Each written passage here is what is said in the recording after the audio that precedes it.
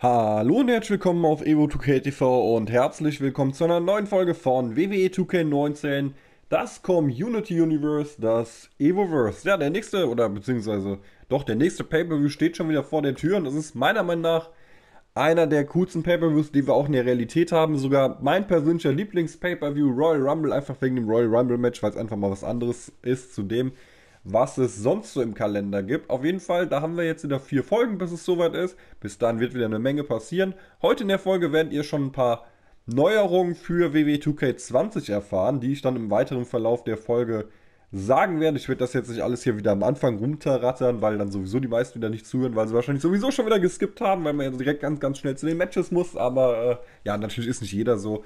Aber der eine oder andere tickt leider so. Das ist leider, leider Fakt. Das sehe ich auch immer in meinen Statistiken, die ich auf YouTube habe. Aber ist ja egal.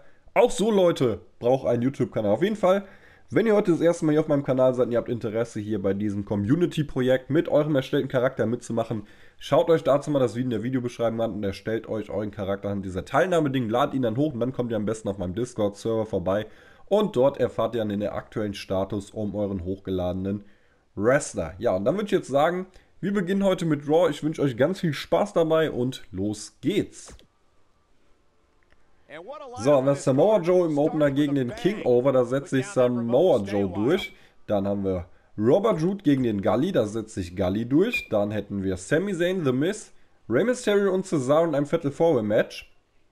Und äh, ja, gestern Sami Zayn Wen hatten wir noch? Cesaro und The Miz waren ja gestern auch beim Pay-Per-View mit dabei in einem Fatal Four Match. Und Sami Zayn setzt sich hier in diesem Match durch. Dann, äh, der übrigens auch der neue Champion ist, bevor ich es vergesse. Dann haben wir Willi gegen Steve Raymond. Steve Raymond war ja gestern auch in dem Match mit dabei, hat aber verloren. Hier setzt sich Willi durch in diesem Match. Und die beiden sind jetzt miteinander verfeindet, so wie es aussieht. Willi und Steve Raymond. Dann haben wir Braun Strowman gegen Drew McIntyre. Hier setzt sich Braun Strowman durch. Und im Main Event The Predator gegen AJ Styles. Hier holt sich Predator den Sieg. Der Devil of Joker noch mit einer Promo wird von Adam Black unterbrochen. Ja, dann schauen wir mal in die News rein, was wir da haben. Eine alte Rivalität loderte nur auf, nachdem The Devil of Joker seinen ehemaligen Feind in den Ring gerufen hatte. Adam Black kam, die beiden hatten eine hitzige Debatte über die Mikrofone und zeigen sich mit dem Ergebnis ihres letzten Matches unzufrieden. Sie wollen die Rechnung begleichen mit Einsatz am höchstens ein Championship-Match. Das passt, die haben sowieso noch ein Rückmatch. Das WWE-Universum ließ Steve Rain deutlich wissen, was es davon hält, dass er seinen Gegner und die Menge derart respektlos behandelt. Burger King, Burger King. Murdoch ging seinen Gegner mit einem wütenden Angriff an. Das war ganz klar die Rache für alles, was er erleiden musste. Die Ausdauer, die er an den Tag legte, hat ihm die Gunst des Universums und seine Unterstützung eingebracht. Okay? Rivalitäten haben wir momentan zwei Stück, so wie es aussieht. Da haben wir King Over gegen den Murdoch und Willi gegen Steve Raymond, beide jeweils acht Wochen. Eine Rivalität wäre derzeit frei. Eventuell Root gegen Gully, da ist momentan der rote Bereich erreicht. Schauen wir mal, wie das hier so weitergeht. Championship Ranking sieht momentan folgendermaßen aus. Ja, Xubix hat ja sein Match gegen den Predator verloren. Da gibt es natürlich wieder noch das Rückmatch zu sehen. Ja, dann haben wir hier Raymond, The Miz und Cesaro auf den letzten Plätzen. Natürlich hat Cesaro noch sein Rückmatch, aber ich habe das jetzt mal so eingestellt, wie es halt von der Eliminierung her gewesen ist. Ja, keine Veränderung im Tag Team Ranking. Wie kann es auch anders sein? Gehört halt leider dazu. Aber Walter ist an Adam Black vorbeigezogen. Aber auch Adam Black hat natürlich noch sein Rückmatch. In diesem Sinne werden wir bei Raw fertig und gehen dann mal zu All Elite Wrestling rüber. Und da starten wir mit den Lucha Bros gegen Ty Dillinger und beziehungsweise Sean Spears, beziehungsweise, ne? Beziehungsweise Sean Spears und den Luchasaurus, da setzen sich die Lucha Bros durch. Dann haben wir Van Knight gegen Death Psycho. Hier holt sich tatsächlich Death Psycho den Sieg. Tragt's im Kalender ein. Death Psycho. Wir feiern es. Wir stehen hinter dir. Ich glaube, jeder gönnt dir mal ein bisschen Erfolg im Eververse. Und vor allem auch noch, wenn es gegen Van Knight ist. Den kann sowieso keiner leiden. Cody Rhodes, Kenny Omega, Time Hunter und Aiden im Fatal Forward Match. Hier setzt sich Cody Rhodes durch. Invader gegen Chris Jericho. Da setzt sich Chris Jericho durch. Pascal Mason gegen Adam Gabriel. Hier holt sich Pascal Mason den Sieg. Und dann haben wir noch zum Show-In in der Eigenwerbung von Adam Page. Da mischt sich aber hier unser guter alter Herr Moxley ein. Ansonsten haben wir noch Michael Masters gegen Kin Medaru. Hier holt sich Kin Medaru tatsächlich den Sieg. Also bei dem scheint es wieder zu laufen. Der scheint sich wirklich wieder gefangen zu haben. Ich bin gespannt, wie es weitergeht. Ja, dann gehen wir mal in die News rein. Vier Sachen. Ähm, John Moxley versuchte mit der Menge über seinen jüngsten Erfolg zu sprechen, aber Hangman Adam Page unterbrachen ihr Mikrofon, um seine eigenen Ansprüche auf beste Chancen zu stellen. Die Konfrontation zwischen diesen beiden Superstars könnte der Beginn einer aufkeimenden Rivalität sein. Ich muss unbedingt einen anderen Hangman Page runterladen, der sieht schrecklich aus. Wenn man noch Austin Bishop nutzte, einen der ältesten Tricks überhaupt und lenkte Pascal Mason ab, sodass sein Gegner ihm in den Rücken fallen konnte. Dieser Superstar verschafft sich einen Vorteil dadurch, dass sein Gegner sich zu sehr auf das kommende Match konzentriert. Derek Golden Jr. tauchte direkt nach dem Match auf, äh, von Invader auf und versportete die Leistung seines Rivalen. Das könnte der Beginn eines langfristigen Plans sein, seinen Rivalen zu verunsichern, damit dieser Fehler macht, wenn es am meisten darauf ankommt.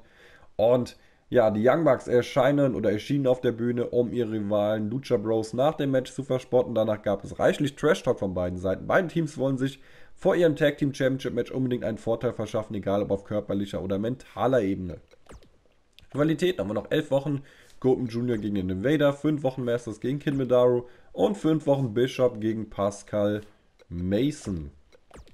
Championship Ranking, ja, da ist natürlich auch das Rückmatch zwischen Michael Masters und John Moxley offen, aber Derek Gorman Jr. bringt sich jetzt momentan trotzdem an die Hauptherausfordererrolle. Time Hunter ist an Kenny Omega vorbeigezogen. Ich feiere es ja überhaupt, dass wir mal Veränderungen in dem Ranking haben. Das ist ja selten der Fall. Und hier ist natürlich einfach schon mal wieder das absolute Negativbeispiel, wie es nicht sein sollte. Tag Team Division irgendwie genau das gleiche. Keine Ahnung, was hier so falsch läuft.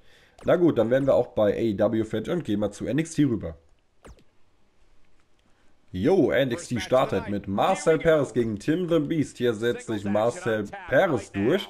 Und auch hier ist jetzt auf einmal eine neue Feindschaft am Start. Er mag auf einmal Tim the Beast nicht mehr und umgekehrt. Und Tim the Beast hat irgendwie eine, einen Statuseffekt, den ich nicht verstehe. Sein Kopf geht hoch und runter anscheinend. Dann aber Adam Cole gegen Cassius Ono. Hier holt sich Adam Cole den Sieg. Arik Tiger gegen den Devil Gamer. Hier holt sich Devil Gamer den Sieg. Jordan Peugeot, Killian Dane und Johnny Gargano und einem Triple Threat Match. Hier holt sich Jordan Peugeot den Sieg. Dann haben wir Bobby Fish und Kyle O'Reilly gegen Danny Birch und Oni Lorcan hier holen sich ja, Undisputed Era den Sieg. John the Danger trifft auf den Philip King. Hier holt sich Philip King den Sieg. Und der Main Event, den wir uns heute anschauen werden, GK5 gegen den Snowman. Schwung ist schnell. Einzug kann ich gar nicht einstellen. Also können wir schon davon ausgehen, dass jetzt gleich was passieren wird. Ab geht's. Oh, es kommt doch ein Entrance. Aber dann wird es wahrscheinlich irgendeine Attacke gleich geben.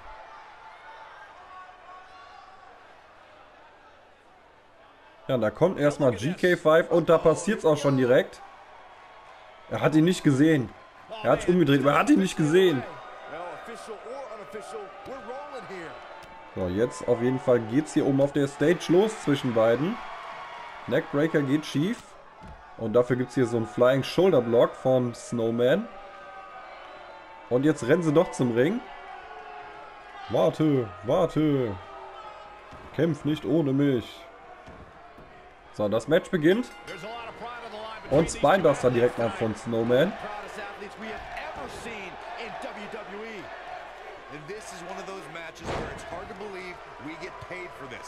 Well, actually, hard to believe Saxton gets paid for anything. Looks like he's starting to sweat now. Ja, Snowman hat das ganz gut im Griff hier zum Anfang. Nächster Shoulder Block. Nach dem Irish Whip.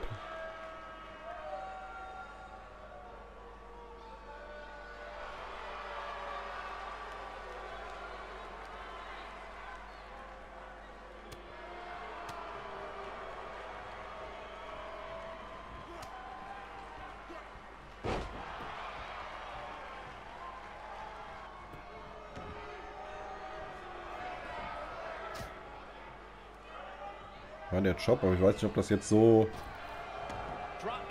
heftig war. Aber trotzdem, Snowman liegt erstmal auf dem Boden. Und ein Roller. Hat der GK5 irgendwie nur Socken an oder sieht das so aus? Oder ist das so ein Tauchan, äh, nicht Tauchanzug? Doch, so ein Neoprenanzug, oder? Auf jeden Fall hat er keine Schuhe an. Ja, kennt man halt. Die Wrestler auf Socken, ne? Aber drauf treten Snowman, dann hat das Problem erledigt. So, der hat aber schon seinen Finisher. Und das gibt den Spike DDT.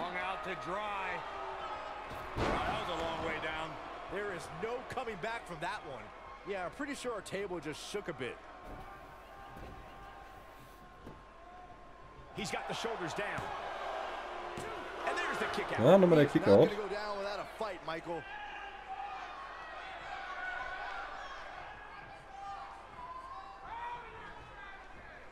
He's on the defensive here. He's going to want to make sure this doesn't snowball out of control. If his opponent somehow wins this thing, you could likely go back to this moment as the turning point of the match.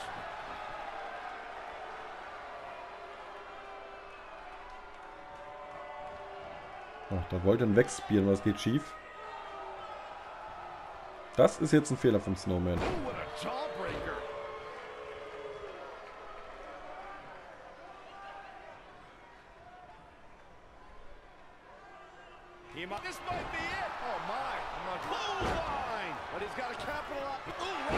Comeback ist erfolgreich. Aber dafür wird der Finisher direkt gekontert.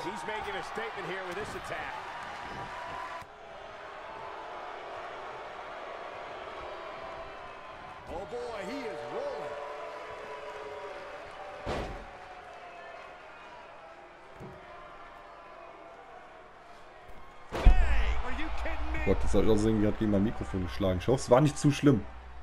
War mit dem Kopf relativ weit da, wollte mich gerade hier so am Kinn kratzen.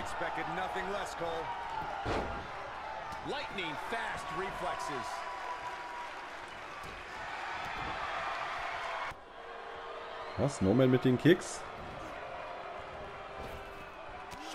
Und nächster Shoulder Block. Und der soll wieder der Finisher kommen. Das gibt wahrscheinlich wieder den Spike DDT. Jo, diesmal von der anderen Seite.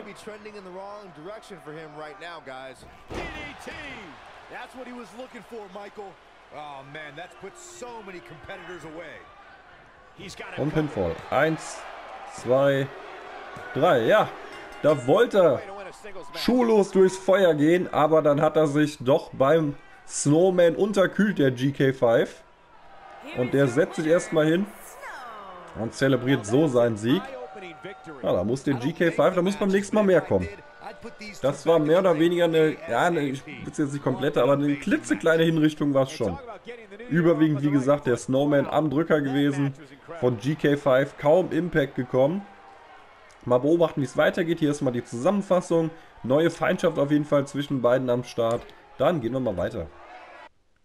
So, dann haben wir in den News. Snowman griff GK5 von hinten an und ließ seinen Frust an einem wehrlosen Superstar aus das WWW-Universum ließ in der Arena ohrenbetäubende Einwände gegen diese aggressive Aktion hören und macht ihm deutlich, dass er heute Abend eine Grenze überschritten hat. Das habe ich jetzt nicht so gehört, aber gut, wenn das da steht, muss das wohl stimmen.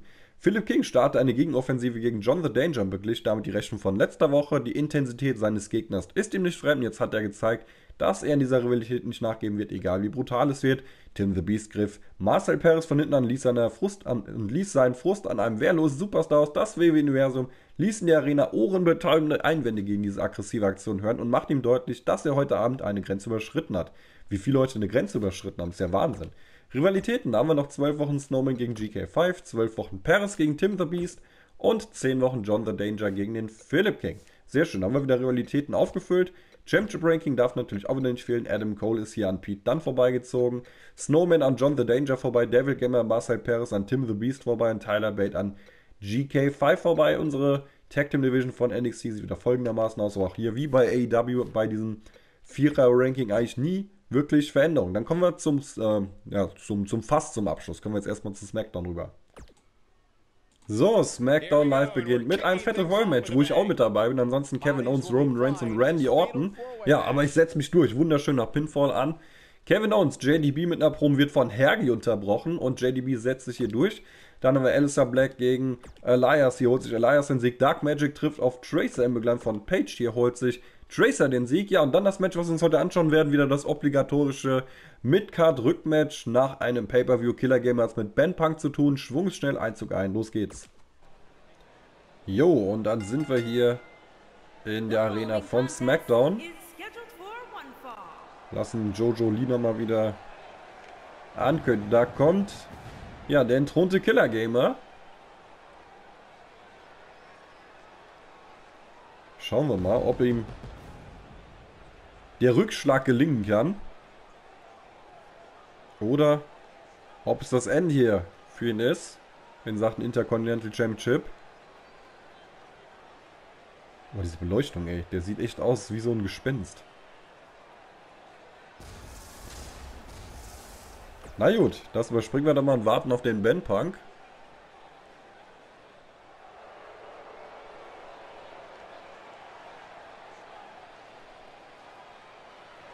Da kommt er.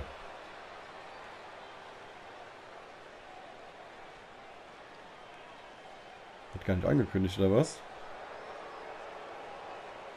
Den Titel, es sieht einfach so, die Titel sehen so dumm aus in diesem Spiel.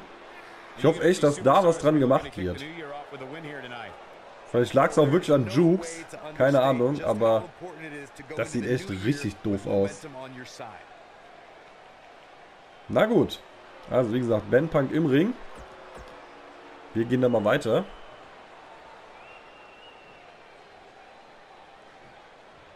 Gucken wir uns mal hier die Animation an vom Intercontinental Championship und die Ankündigung, worum es geht.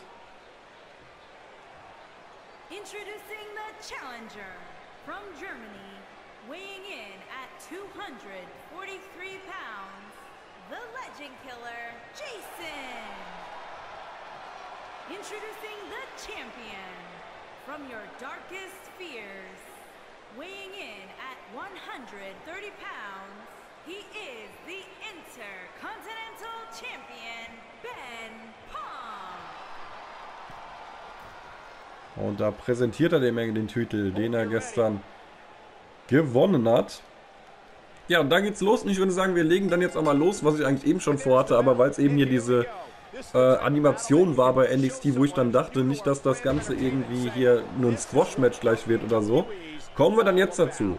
Also das ist jetzt alles noch nicht ganz offiziell, aber das sind jetzt schon mal die Ideen, wo ich sage, zu 99% wird es auch definitiv umgesetzt. Die Änderung vom Evoverse in 2K20, wo natürlich auch nochmal dann, wenn das Spiel draußen ist, ein extra Video zukommen wird. Aber nur damit die Leute, die jetzt schon mitmachen, schon mal dabei sind und vielleicht auch sagen, hey, nö, da habe ich keinen Bock drauf. Weil manche gibt es ja auch, die sich äh, zum Beispiel WWE nur holen, weil sie beim Evoverse mitmachen. Da gibt es tatsächlich auch welche. Also unglaublich, aber wir haben wirklich Leute, die sich nur deswegen WWE geholt haben. Auf jeden Fall die Everse 2K20 Änderung. Neu wird zum Beispiel sein, dass Namen zu eurem Charakter passen müssen. Es gibt nämlich einige, die haben irgendwie die Bezeichnung Devil, Demon, dann irgendwas mit Beast. Aber das wusste, wie gesagt, jetzt auch. Gerade äh, Demon ist ein sehr, sehr gutes Beispiel es gibt so viele, die die Bezeichnung Demon im Namen haben, aber nicht ansatzweise irgendwas mit Demon zu tun haben. Also deswegen wird da aufgepasst. Natürlich könnt ihr jetzt einen sagen, ja, aber ich nenne mich schon immer so. Aber das sind die Regeln. Ich mache die Regeln dafür und das muss auch berücksichtigt werden, weil das Ganze soll ja auch schon ein bisschen vernünftig ablaufen. Und äh, man kann sich auch mal einen neuen Charakter erstellen. Das ist sowieso was, was ich vielen Leuten raten würde, in 2K20 mit einem neuen Charakter an den Start zu gehen. Dann Signature dürfen keine Finisher mehr sein. Das ist ganz, ganz wichtig. Mir ist einfach mal aufgefallen, dass viele ein F5, ein AKO, ein Curbstomp als Signature haben. Das ist einfach verboten. Das ist ein Finisher von Brock Lesnar, das ist der Finisher von Randy Orton, das ist der Finisher von Seth Rollins. Und das ist einfach viel zu overpowered, wenn dann noch hier sowas als Signature verwendet wird. Deswegen wird sowas dann auch in dem neuen Spiel von mir verboten. Ähm, eine weitere Änderung ist, Signature und Finisher müssen im Ring und außerhalb des Rings identisch sein. Ist der Move außerhalb nicht verfügbar, sollte es ein ähnlicher Move sein, der dann verwendet wird. Und was ist damit gemeint? Also man kann ja Finisher im Ring einstellen, Finisher außerhalb des Ringes. Und viele machen sich zum Beispiel im Ring dann AKO und dann machen sie draußen auf einmal keinen AKO mehr, sondern nochmal irgendwas anderes. Und das passt nicht, weil der Finisher sollte ja wirklich auch das sein, womit ein Charakter wirklich zu identifizieren ist. Und wenn dann draußen was anderes als drin, ist einfach komplett bescheuert. Das haben sehr, sehr viele. Das finde ich auch sehr, sehr schade, weil ich finde es persönlich besser, wenn da wirklich auch draußen das will. Gerade in Hardcore-Matches oder sowas erkennt man das dann ja gar nicht so wirklich. Ob das dann jetzt ein Finisher ist oder sowas, was es auf einmal war, weil man es sonst von dem Charakter nicht kennt. Dann wird es auch so sein, dass diverse Talente verboten werden da sie bei KI-Matches für schlechtes Gameplay sorgen. Zum Beispiel, das habe ich ja nachträglich schon gemacht, weil es am Anfang in dem Informationsvideo vom Eververse halt noch nicht so war. Die Triple Powerbomb wird verboten und die Powerbomb into the Boston Crab, weil einfach die Powerbomb into the Boston Crab ist wirklich kompletter Schwachsinn. Das haben wir auch in letzter Zeit sehr, sehr häufig gesehen, dass die durchgeführt wird. Dann kommt, glaube ich, noch der Widerstand oder sowas. Auf jeden Fall befreit sich derjenige, der sich gerade in der Powerbomb oder der sich gerade in der Boston Crab befindet. Und er kann dann trotzdem ähm, das Match nicht mehr die Niederlage verändern, weil einfach dann ein Pinfall reicht. Deswegen wird die Powerbomb to the Boston Crab, die sowieso jetzt nicht so ein krasser Move ist, ähm, im neuen Teil verboten. Dann ist etwas, was eigentlich jetzt auch schon verboten wird, aber ich habe es irgendwie dann vergessen, so mehr oder weniger die ganze Zeit zu überprüfen. Aber es ist auf jeden Fall nochmal der Hinweis, Sprungmoves vom obersten Ringseil sind nur noch Charakteren überlaubt, bei denen es von den Körperproportionen her realistisch ist. Also Super Heavyweights werden nicht mehr vom Top Rope springen können. Das hat einfach wirklich den Grund, weil es wirklich total absurd aussieht. Es gibt Wrestler, ja. Super Heavyweights, die können das, aber das sind noch absolute Ausnahmen.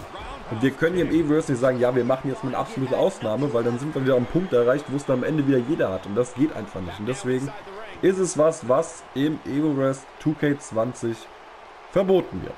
So, ja Leute, das waren jetzt erstmal die ersten Informationen. Vielleicht fällt mir noch ein bisschen mehr ein, was dann auch in den nächsten Tagen oder in den nächsten Folgen von mir rausposaunt wird. Aber am Ende muss man sowieso erstmal oder abwarten, was kann denn WW 2K20 überhaupt? Vielleicht ist es ja auch wieder alles ganz anders, als wir denken. Und deswegen sollten wir größtenteils schon mal oder nochmal abwarten, bis wir dann das Spiel in Händen halten. Aber das sind, glaube ich, schon mal ein paar Dinge, die man auf jeden Fall so für die Charaktererstellung festhalten kann. So, und jetzt konzentriere ich mich auch mal persönlich auf das Match. Ich hoffe, ihr habt das bis dahin getan, habt mir nur nebenbei zugehört, aber auf jeden Fall ja, sehen wir jetzt auch das Comeback vom Killer Gamer, der auch eine Platzwunde hat, was ich zum Beispiel bei meinem ganzen Erzählen nicht mitbekomme. Ich bin echt hier das perfekte Beispiel, dass ich nur eine Sache gleichzeitig kann. Ich kann erzählen, aber ich kann nicht zugucken. Zur gleichen Zeit. So, auf jeden Fall, äh, Ben Punk macht das erstmal gar nichts anscheinend hier aus. Hat ja auch das Comeback, glaube ich, dann danach, den Finisher oder was immer kommen sollte, ganz gut abgewendet, der Signature. Aber jetzt steht er halt da. Er steht da und guckt. Ein paar Dinge habe ich auch gestern schon angesprochen in der Pay-Per-View-Folge von Clash of Champions. Und den habe ich eben mitbekommen hier. Den 619 habe ich eben mitbekommen. Jetzt zeigt Ben Punk ihn nochmal. Und er steht wieder da. Irgendwie hat er keine Lust, der Ben Punk.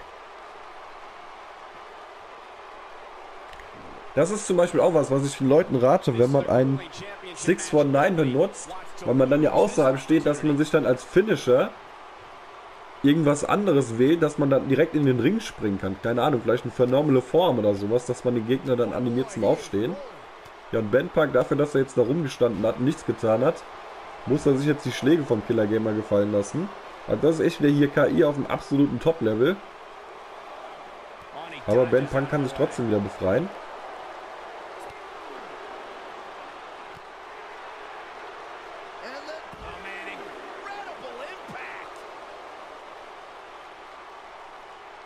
Das kann ich vielleicht noch ergänzen.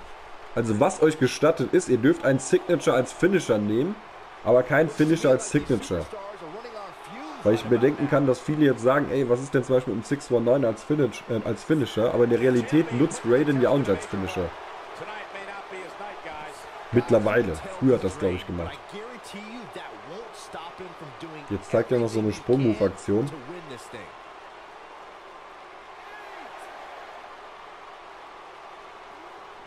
Das geht zurück in den Ring. Kurz vor 10. Und jetzt will Killer Gamer wohl seinen Spear zeigen.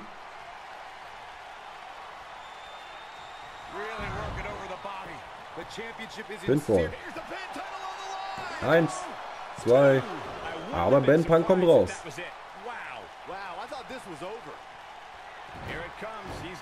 Ach, es war zum Beispiel der Signature, okay. Also das wäre zum Beispiel jetzt auch was. Und der AKO sitzt. Man darf schon Spear als Signature nehmen, aber halt nicht mehr den exklusiven Finisher voraus, weil es war ja der von Edge. Und Killer Game holt auf jeden Fall den Intercontinental Championship zurück und ja, sorgt dafür, dass diese Rivalität zwischen den beiden weitergeht. Das werde ich direkt mal hier in meine Liste eintragen, dass das nicht vergessen wird. Ich muss mich unbedingt wieder dran denken, was mir auch Arbeit erleichtert, indem ich hier meine Liste auch wirklich pflege, weil da muss ich nicht immer zurückgehen zu den Folgen, mir nochmal anschauen, was da noch passiert ist, wenn es dann um Rückmatches oder so geht. Ja, Glückwunsch an den Killer Gamer. Ben Punk wird natürlich seinen Rückmatch noch bekommen. Das wird dann beim Royal Rumble der Fall sein. Und ja, während die beiden dann jetzt hier von Dunn ziehen, beziehungsweise während der Ben Punk von Dunn zieht. Lange Titelregentschaft war es jetzt nicht. Gehen wir mal zurück ins Menü. Jo, dann haben wir noch ein Tag Team Match, die EWO, die gestern auch entthront wurden, ein Bullshit Match gegen die Black Invasion. Da holt sich die EWO den Sieg. Dann haben wir Taylor gegen Finn Balor im Main Event. Da holt sich der Taylor den Sieg. So, dann gehen wir in die News rein. Shinsuke Nakamura hing beim Ring herum, behauptet, er wolle seinen Titel, äh, er wollte seinen Titel, er wollte seinen Rivalen ausspähen. Dass das nur ein Vorwand war, fiel auf, als er Taylor während des Kampfes ablenkte und so seinem Gegner ermöglichte, von hinten zuzuschlagen. Er hat bei diesem Psychospielchen die Oberhand über seinen Rivalen manipuliert und frustriert ihn, wie es ihm gefällt. JDB rief Hergi zum Ring, um ihn wegen seiner Aktion von letzter Woche zur Rede zu stellen. Was hat er gemacht, der Hergi? Die Stimmung geriet schnell außer Kontrolle, als die beiden Superstars aufhörten zu reden und die Fäuste sprechen ließen, was ihre Diskussion an handfeste Prügelei verwandelte. Rivalitäten haben wir momentan noch. Hergi gegen JDB hat diese Woche begonnen, geht zwölf Wochen. Nakamura gegen Taylor geht noch zwei Wochen. Ansonsten ein Platz wäre aktuell frei. Schauen wir mal, was da so kommt. Dann gehen wir nochmal zum Championship Ranking rüber. Da gibt es keine Veränderung. Ich bin weiterhin, oder ja doch, natürlich, was heißt weiterhin? Ich bin wieder der neue Champion. Und ja, hier sind die Veränderungen nach dem Match gestern. Das ist wieder so angepasst worden, wie halt die Ausscheidungsreihenfolge war. Und ja, dann würde ich sagen, gehen wir dann mal, weil auch beim Tag Team Ranking wieder nichts ist. Aber Hardcoring vielleicht hier nochmal JDB an Hergi vorbei, Walter an Adam Black und William Dark Magic. Ich glaube, hier gab es dann tatsächlich doch nochmal Änderungen bei, nach SmackDown. Dann gehen wir mal jetzt hier zum Abschluss, zum letzten Part der heutigen Folge. Wir gehen zu Main Event und schauen uns das 24-7-Match noch an. So, Main Event beginnt hier mit unserer 8-Mann Over-the-Top Rope Battle Royale in Form von unserem 24-7-Match. Mit dabei Steve Raymond, Elias, Invader, Adam Page, Marcel Perez, Johnny Gargano, Delta und unser aktueller 24-7 Champion No Way Jose. Schwung ist schnell, Einzug aus, los geht's. So, Match beginnt. Elias schnappt sich erstmal Adam Page, aber Delta kommt dazu und unterbricht das Ganze. Jetzt geht aber auf den Champion. Oh, er kickt vorbei an Noe Jose. Jetzt trifft er ihn dann doch, aber er fällt noch nicht raus. Oh, da ist der erste eliminiert. Steve Raymond hat jemanden rausgehauen. Und ja, das war Marcel Perez. Und jetzt vielleicht doch das Ende für den 24-7 Champion. Nee, Gargano jetzt in Gefahr. Aber der kann sich wieder befreien. Ich bin echt erstaunt. Sieben Leute noch drin. Nach 40 Sekunden.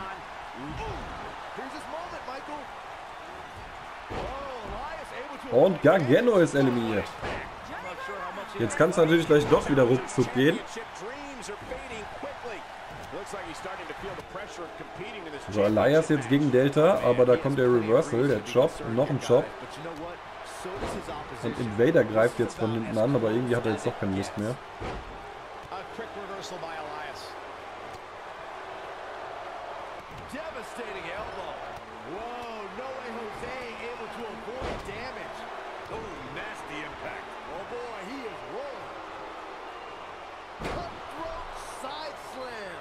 Eine Minute 20 vorbei, erst zwei Leute raus und Delta ist raus. Also EWO wird nicht 24-7 Champion.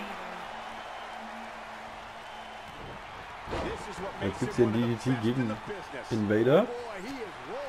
Haben wir noch fünf Leute drin. Nach einer Minute 40.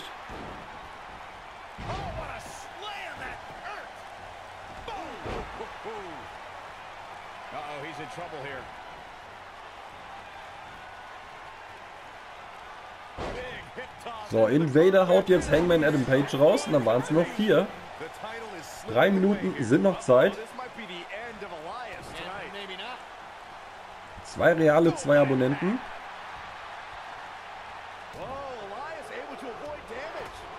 Und Tiefschlag gegen Steve Raymond. Und der Champion ist raus. No Way Jose von Invader eliminiert. Und der schnappt sich jetzt auch Elias.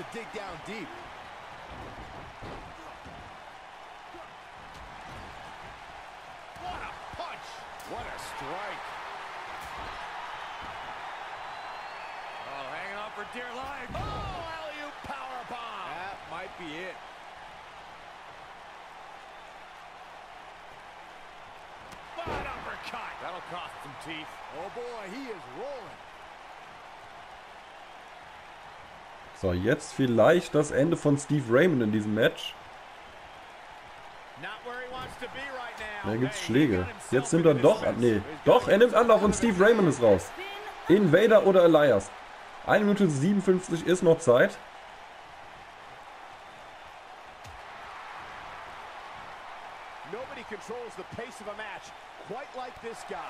Und das ist jetzt, glaube ich, gefährlich für den Invader. Der kann nämlich jetzt nicht kontern.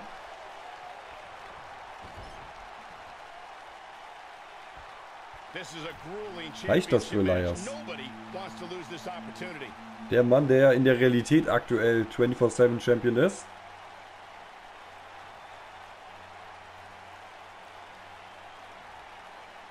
Ja, da wehrt sich der Invader noch. Kann sich befreien.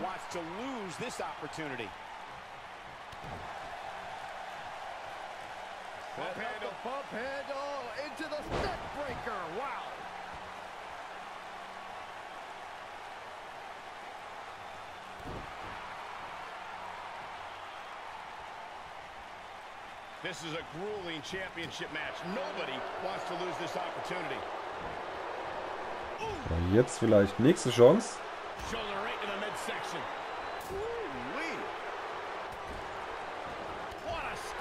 45 Sekunden. Oh, jetzt Invader. Schnappt sich Elias. Macht ihn am Ringseil wieder fest. Und eliminiert ihn. Invader ist tatsächlich der neue 24-7 Champion. Kurz vorm Ende, vor Ablauf der Uhr, schafft das tatsächlich und schmeißt Elias raus. Ja, dann einmal bitte das Statement von Invader. Bist du zufrieden mit diesem Titel oder wärst du lieber gewesen, du hättest ihn nicht gewonnen? Der hier unter als Jobber-Titel bekannt geworden ist. Also er genießt auf jeden Fall den Moment fürs Erste. Schauen wir mal, ob, wenn er dann mal kurz drüber geschlafen hat, ob es dann immer noch so ist. Na gut, in diesem Sinne, während hier die Siegesfeier läuft und wir hier Invader mit einer Platzwunde und dem Titel sehen, gehen wir dann mal zum nächsten Part der heutigen Folge. Ja, da haben wir Death Psycho gegen Adam Gabriel, da holt sich Death Psycho den Sieg. Da haben wir den Cold Club gegen die Black Invasion, da holt sich der Cold Club den Sieg. Dann haben wir die Red Army gegen Devil Gamer und John the Danger von NXT. Red Army mit dem Sieg. Dann haben wir noch eine Battle Royale mit Ricardo Velasco Jr., Patrick King, Van Knight, Gully, John Peugeot, Hergi, Larry und Ace Wright. Hier holt sich in diesem Match Patrick King den Sieg am Ende gegen Gully. Adam Black mit einer Promo wird von Walter unterbrochen. Und dann haben wir noch ein 1 gegen 1 Match am Ende. Mark Barrett im Begleiten von Delta, Evo 2K und Dark Magic gegen Crimson Shaw, der von Derek Owen Jr. begleitet wird. Und da holt sich der Mann von der EWO den Sieg. Und damit sind wir schon wieder am Ende der heutigen Folge angekommen. Wir gucken uns dann jetzt mal das Power Ranking an. Aber ihr könnt schon mal natürlich wieder einen Daumen nach oben da lassen, wenn es euch heute gefallen hat. Schreibt euer Feedback natürlich wieder in die Videobeschreibung rein. Was fand ihr gut, was fand ihr schlecht, was würdet ihr vielleicht verbessern? Links zu meinen Social Media Accounts auch unten in der Videobeschreibung verlinkt. Facebook, Twitter, Instagram, Snapchat und der Link zu meinem Twitch-Kanal. Ich würde mich sehr, sehr freuen, wenn ihr mir mal ein Follow hinterlassen würdet, wenn ihr dort registriert seid. Ansonsten aktueller Uploadplan jeden Tag um 15 Uhr eine neue Folge WWE 2K19, das Community Universe, das Evoverse. Um 17 Uhr wird dann bald das Fire Pro Wrestling World Evoverse starten. Auch dazu gibt es noch ein Video in der Videobeschreibung verlinkt, aber auch gleich noch im Outro zu sehen. Also würde mich sehr, sehr freuen, wenn ihr vielleicht noch einen Charakter einreichen würdet bei beiden Spielen, wenn ihr es habt. Und äh, hier nochmal für ein bisschen frischen Wind sorgt. Auf jeden Fall, das war's jetzt für heute. Ähm, ich bedanke mich wieder ganz, ganz herzlich fürs Reinschalten, für eure Aufmerksamkeit. Wünsche euch dann allen noch einen schönen Tag. Lasst es euch gut gehen. Bis zum nächsten Video. Macht's gut und ciao.